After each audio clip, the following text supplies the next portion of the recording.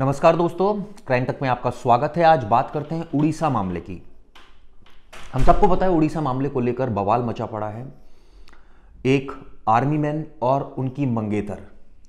उन दोनों के साथ भरतपुर एक थाना है उड़ीसा में, जहाँ पर उन्होंने आरोप लगाए हैं कि उनके साथ बदसलूकी की गई। सिर्फ़ बदसलूकी नहीं की गई, उनके साथ मारपीट की गई, यौन उत्पीड़न हुआ और उसके बाद अब इसमें कार्रवाई भी हुई है। लेकिन यह मामला बहुत संगीन है, क्योंकि ये मामला अब हर जगह इस पर चर्चा हो रही है। उड़ीसा के पूर्व सीएम ने इस पर ट्वीट भी किया है और ये कहा है इस पूरे मसले को लेकर कि इसकी जुडिशियल इंक्वायरी होनी चाहिए। कई जगह मैं पढ़ रहा था, इस खबर को लेकर आर्मी वर्सेस पुलिस भी लिखा गया है। घटना पहले दोस्तों आपको बताया तो 15 सितंबर की बात है, रात के एक बजे के आसपास का वक्त था। ये बताते हैं कि रेस्टोरेंट इनका भुवनेश्वर में जो कपल है और जो लेडी है सॉरी उसने अपना रेस्टोरेंट बंद किया और कार में अपने मंगेतर के साथ थी वो। ये बताते हैं कि कुछ लड़कों ने इनकी कार रोकी पहले, इनके साथ हाथापाई की। करीबन छः सात ये लड़के थे। आप सोचिए कि वो अपनी मंगेतर के साथ जा रही और इस तरह से उसके साथ बदसलूकी की गई। वो बहुत ही डरी हुई थी उस समय। डर के एकदम पुलिस स्टेशन पहुँचती है। जो लेडी ऑलरेडी इतना ज़्यादा त्रस्त थी, जब उसको दिखा कि भाई उसके साथ ऑलमोस्ट मारपीट होने वाली थी, तब वो पहुँची। और वहाँ पर उसके साथ क्या हुआ? एक महिला कांस्टेबल रिसेप्शन पर बैठी हुई थी। नाइट सूट में थी वो। और जब उससे मदद मांगी तो उससे बदतमीजी करनी शुरू कर दी। आप सोचिए, एक महिला कांस्टेबल वहाँ बैठी हुई थी। वो रात के एक बजे के आसपास थाने पहुँचती है, बताती है कि उनके साथ ये हुआ। दोनों बताते हैं अपनी आप बीती। ऑब्वियसली जब ऐसे में कई बार हम देखते हैं कि जो कंप्लेनेंट होता है, वो ओवर रिएक्ट भी करता है, क्योंकि अगर उसके साथ घटना हुई है तो वो बहुत परेशान रहता है और ऐसे में वो पूरे इमोशंस के साथ अपनी बात बताता है। तो पीड़ित महिला ने यह बताने की कोशिश की कि वो एक वकील भी है और उसने कोशिश की और ये कहा कि एफआईआर दर्ज करना उनकी ड्यूटी है, ये तमाम बातें बोली। आर्गूमेंट भी कुछ हुआ उस समय। मुझे लगता है कि उस समय पुलिस को थोड़ा सा सेंसिटिव होना चाहिए था और ये सोचना चाहिए था कि एक महिला और उसके मंगेतर के साथ अगर इस तरह से बदसलूकी हुई है तो पहले उनकी बात बहुत एक ठंडे दिमाग से सुननी चाहिए थी, लेकिन ऐसा हुआ नहीं। हुआ ये कि मेजर भी बहुत तेज तेज चिल्ला रहा था, इस तरह के आरोप लगाए जा रहे और उसके बाद गुस्से में आकर कुछ पुलिसकर्मियों ने मेजर को पहले हवालात में बंद कर दिया। आप सोचिए, एक तो उसके साथ बदसलूकी हुई और उसके साथ ये घटना हुई। पीड़िता ने कहना है कि जब वो एक आर्मी ऑफिसर को इस तरह, उसने बोला कि भाई आप आर्मी ऑफिसर को इस तरह से कैसे बंद कर सकते हैं तो दो महिला पुलिसकर्मी आए उस लेडी के बाल पकड़े, उसके साथ मारपीट की। यानी जो कंप्लेनेंट है, जो लड़की ये बताने के लिए आई है कि उसके और उसके मंगेतर के साथ बदसलूकी हुई है, उसके साथ ये व्यवहार किया गया। इतना ही नहीं हुआ। अब आगे सुनिए। इसके हाथ जो थे लड़की के, वो जैकेट से बाँध दिए।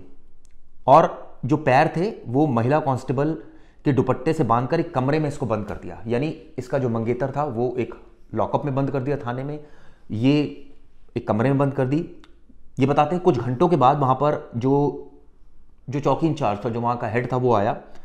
और उसने जो है बदसलूकी की। छः बजे के आसपास उस समय सुबह हो गए थे। और आप सोचिए कि यौन उत्पीड़न उसके साथ किया गया। तमाम चीज़ें हुई और महिला बेहद डर गई उस समय, चिल्लाने लगी और ये बात जब उसने बयान दिया, बाद में पुलिस को तो ये बताया कि किस तरह से बदसलूकी की पुलिस वालों ने। इस मामले में एक्शन हुआ है और उड़ीसा पुलिस के भरतपुर थाने के पाँच पुलिसकर्मियों को सस्पेंड कर दिया गया। लेकिन घटना यहीं खत्म नहीं हो रही है दोस्तों। अब इसकी जाँच क्राइम ब्रांच कर रही है, यानी जो पुलिस ने बदसलूकी की। इस मामले में पहली एफआईआर लेडी ने लिखवाई, जो उसके साथ बदसलूकी हुई पहले थाने के बाहर, जब वो थाने गई तो उल्टा पुलिस ने इसके खिलाफ मुकदमा दर्ज कर दिया कि इसने पुलिस वालों के साथ बदसलूकी की। अब उस मामले में जो लेडी है, उसको बेल मिल गई और लेडी ने जब बाहर आई तो उसने तमाम बातें बताई रोते रोते तमाम बातें बताई, किस तरह से पुलिसकर्मियों ने उसके साथ बदसलूकी की। जो वहाँ पर मौजूद थे जो पुलिसकर्मी, जो महिला पुलिसकर्मी मौजूद थी, उसने किस तरह से बदतमीजी की। तमाम बातें उसने अपनी कंप्लेंट में बताई हैं। अब इसको लेकर ऑब्वियसली राजनीति भी बहुत ज़्यादा गर्म आ गई क्योंकि मामला बहुत सेंसिटिव हो गया और ये तमाम प्लेटफॉर्म्स पर ये मामला अब आ गया है। इसको लेकर जो उड़ीसा के जो पूर्व मुख्यमंत्री हैं जो सीएम हैं, बीजू पटनायक, नवीन पटनायक। उन्होंने भी इसमें सख्त एक्शन लेने की बात की जुडिशियल इंक्वायरी की बात कही है। और जिस तरह से घटना हुई है, इससे अब तमाम सवाल खड़े हो गए। लेकिन दोस्तों, सबसे बड़ी बात तो ये है ना कि इस तरह की घटना थाने के अंदर हो जाना और थाने के अंदर इस तरह से पुलिस कर्मियों के व्यवहार, ये कहीं से भी इसको एक्सेप्ट नहीं किया जा सकता। एक महिला जो ऑलरेडी अपने मंगेतर के साथ थी, आप सोचिए उसके साथ इस तरह से, वो पहले ही उसके साथ पाँच छह बदमाशों ने बदतमीजी करी सड़क पर।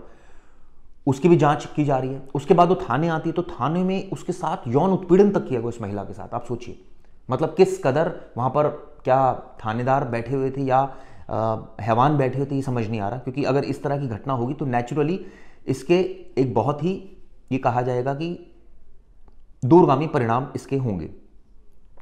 इसको लेकर जैसे मैं आपको बता रहा हूँ कि जो सीएम है वहाँ के, उनका नाम है मोहन मांझी। उन्होंने भी ऑर्डर कर दिया जुडिशियल प्रॉप के इस पूरी कस्टोडियल जो एब्यूज़ केस है।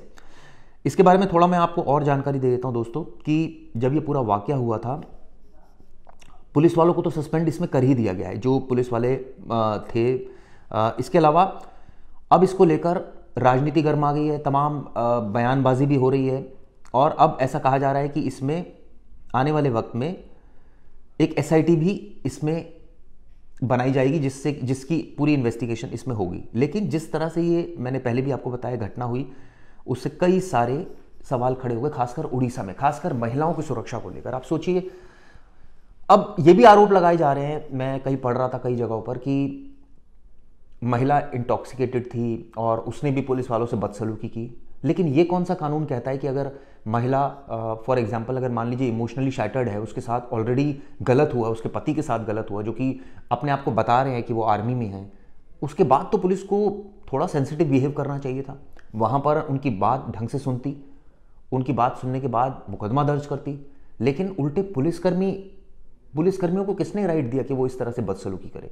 ठीक है, ये मैं मान सकता हूँ कि ऐसा भी संभव है। हालाँकि अभी इसकी जाँच चल रही है कि शायद कुछ महिला की तरफ़ से भी आ, कई बार गुस्से में कुछ बोल दिया गया लेकिन ऐसे में पुलिसकर्मियों को इसकी ट्रेनिंग दी जाती है बाकायदा कि अगर कोई इस तरह से एग्रेसिव कंप्लेनेंट भी आ रहा है तो भी उसकी बात आप विनम्रता से सुने क्योंकि वो ऑलरेडी उसके साथ क्राइम हो चुका है वो ऑलरेडी परेशान है। रात के एक बजे उसके साथ अगर ये घटना हो रही है और वो आकर ये सब कुछ बता रही है कि मैं लॉयर हूँ। आप ये बताइए, कोई महिला अगर इस स्थिति में आ जाए कि वो इस तरह की बातें करने लग जाए कि मैं एक लॉयर हूँ तो नेचुरल सी बात है कि पुलिस उसको अच्छे से एंटरटेन नहीं कर रही है। अगर पुलिस उसको अच्छे से एंटरटेन करती तो शायद ये परिस्थिति पैदा नहीं होती, लेकिन ऐसा नहीं हुआ। उसको बताना पड़ा कि मैं लॉयर हूँ। ये बताना पड़ा कि आप आर्मी मैन को कैसे जेल के अंदर जो है वो डाल सकते हैं। आप सोचिए, उसके पति को जेल के अंदर डाल दिया लॉकअप के अंदर डाल दिया, उसको जो है वो एक कमरे में बंद कर दिया, उसके हाथ जैकेट से बाँध दिए, उसके पैर बाँध दिए, उसके बाद उसके साथ यौन उत्पीड़न हुआ, उसने आरोप लगाया जो चौकी इंचार्ज है उस पर। तो कई महिला पुलिसकर्मी भी इसमें सस्पेंड हो तो ये जब, ये पुलिस का काम ये नहीं है जो इसमें दिखाया गया। मैं मान सकता हूँ कि पीड़ित ने हो सकता है कि बदतमीजी भी की हो, वो बहुत ज़्यादा गुस्से में रही हो, बदतमीजी इन द सेंस कि गुस्से में कुछ बोल गई हो। लेकिन इसका मतलब ये नहीं कि आप उसके साथ इस तरह से इल ट्रीट इल ट्रीटमेंट करेंगे। आप उसके गुस्से को ठंडा कर सकते थे उसकी काउंसलिंग कर सकते थे। उस समय सिचुएशन ये थी कि उसको आ, कम से कम एक जगह बैठा देते उसकी बात सुन लेते उसकी आ, जो कंप्लेनेंट को सेटिस्फाई करने का एक जो पुलिस का परम धर्म है वो कर देते लेकिन ऐसा कुछ हुआ ही नहीं। तभी तो वो इतनी एग्रेसिव हो गई इतनी ज़्यादा एग्रेसिव होने के बाद ये स्थिति पैदा हो गई कि आ, फिर पुलिसकर्मियों को भी बुरा लग रहा है। और नेचुरल सी बात है जब कोई बहुत ज़्यादा एग्रेसिव होगा तो बुरा तो लगेगा लेकिन अब बुरा लगने का मतलब है कि आप उसके हाथ पैर बाँध देंगे उसके साथ यौन उत्पीड़न करेंगे। आप सोचिए आप उसके आ, उसको बंद कर देते उसको लॉकअप में डाल देते थोड़ी देर के लिए। जब उसका गुस्सा ठंडा हुआ तो उसको बाहर बुलाते इन्वेस्टिगेशन करते पूरे मामले की। बहुत सारे तरीके इस मामले में हो सकते थे लेकिन ऐसा हुआ नहीं। हालाँकि देखिए कस्टडी में भी नहीं डाल सकते थे। ठीक है अगर वो मान लीजिए बहुत गुस्से में है बहुत सारे तरीके होते हैं। इस तरह की ट्रेनिंग बाकायदा पुलिस कर्मियों को दी जाती है कि किस तरह से हैंडल किया जाए ऐसे कंप्लेनेंट्स को। लेकिन अगर ऐसा नहीं हो रहा है तो नेचुरल सी सवाल तो उठेंगे और इसी वजह से इस मुद्दे पर भी बहुत ज़्यादा राजनीति भी गरमाई और इस तरह के सवाल उठे कि पुलिस ने इतना मिसबिहेव किया। ये मिसबिहेव नहीं होता दोस्तों, ये तो आप सोचिए, एक लिमिट क्रॉस की पुलिस ने। यौन उत्पीड़न किया जा रहा है उस महिला का। क्या वो इसीलिए पुलिस स्टेशन आई थी? वो तो अपनी शिकायत दर्ज कराने आई थी, उसके साथ तो गलत हुआ था। उसके मंगेतर के साथ गलत हुआ था। कुछ बदमाशों ने उसको घेर लिया था, ये उसकी गलती थी। उसके बाद उस बदमा, उन बदमाशों ने उसको घेर लिया वो डरी हुई थाने पहुँचती है और पुलिस वालों को ये बताना पड़ा उसको कि आपकी ड्यूटी क्या है। इसका मतलब कहीं ना कहीं पुलिस कर्मियों की शुरुआत में नेग्लिजेंस रही या आ, उनको ऐसा लगा कि ठीक है भाई एक और कंप्लेनेंट आ गई तो हम इसको देखते हैं मामले को। इस तरह से एक कैजुअल अप्रोच नहीं होनी चाहिए। उसको सिंसियरली सुनना चाहिए था, उसकी बात को सुनते, उसका स्टेटमेंट रिकॉर्ड करते, तुरंत रेड करते जहाँ पॉसिबल रेड्स कर सकते थे, तुरंत आरोपियों को पकड़ते। अब तो पुलिस ने कार्रवाई की है, लेकिन आप सोचिए इस घटना से पूरे उड़ीसा की लॉ एंड ऑर्डर पर सवाल खड़ा हुआ है कि किस तरह से यहाँ पुलिसिंग हो रही है। खासकर अगर मैं पर्टिकुलर थाने की बात करूँ तो ये पुलिसकर्मियों का काम है कि वो इस तरह से इल्ट्रीट करेंगे। इस खबर पर दोस्तों हमारी निगाह बनी रहेगी, क्योंकि ये पुलिस के खिलाफ है और पुलिस ने जिस तरह से टॉर्चर किया है महिलाओं को, इससे तमाम सवाल खड़े हो रहे हैं। हम इसका पक्ष बिल्कुल नहीं लेते, क्योंकि जिस तरह की घटना हुई है, महिला ऑलरेडी परेशान थी उसके साथ। अगर अगर महिला, मैं एक बात कोई मान भी जाऊँ कि अगर वो थोड़ी सी इल ट्रीटमेंट कर भी रही थी तो भी बहुत सारे तरीके होते हैं इस तरह के कंप्लेनेंट को डील करने के लिए। लेकिन ये कोई तरीका नहीं था जो पुलिस ने अपनाया। इस मामले में क्या आने वाले वक्त में आरोपियों को गिरफ़्तार किया जाएगा पुलिसकर्मियों को सस्पेंशन से क्या होगा? आरोपियों को गिरफ़्तार किया जाना चाहिए। जिसने यौन उत्पीड़न किया उसके खिलाफ मुकदमा दर्ज करके आगे कार्रवाई होनी चाहिए।